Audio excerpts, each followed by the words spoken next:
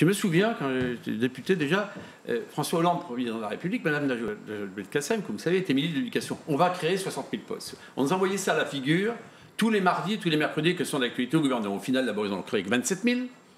On en a ouvert 60. Mais vous voyez, les prismes et les chiffres. Donc moi, excusez-moi ma petite formation scientifique, j'aime bien les vrais chiffres. Donc on a vous l'avez dit vous-même, et c'est multifactoriel. Et une suppression de postes on juste a avant. l'attractivité. On n'a pas que cela. On a les profs. euh, il y a une, une sorte. Moi, je l'ai vu au travers du Covid, des mesures qui arrivaient, les formulaires de 20, 30, 40 pages qui arrivaient. C'était absolument ingérable au quotidien Ah oui, pour les enseignants. très, très pénible. C'est- Mais- il y a- La masse il y a- administrative. oui, il y a une masse administrative. Il y a aussi une, sorte de tutelle qui s'applique, une sorte de tutelle qui Ça, c'est le s'applique. téléphone. C'est le numérique. On est dans le numérique, c'est Excusez- une sorte de logique. tutelle qui s'applique sur eux, c'est-à-dire qu'en fait, je m'explique, avec euh, des chapes de plomb, avec des inspections de circonscription, quelquefois qui ne sont pas toujours très euh, plus de souplesse qu'on donne aux enseignants dans la façon dont ils peuvent appréhender l'enseignement qu'ils veulent donner aux enfants. Et, moi, là-dessus, je suis pour plus de liberté, certes des programmes encadrés, mais aussi un peu plus de souplesse de manière à ce qu'ils puissent. Vous voyez, on va ouvrir des classes vertes parce que je pense que la sensibilisation à l'environnement, elle ne se fait pas entre quatre murs, elle se fait par des expériences terrain.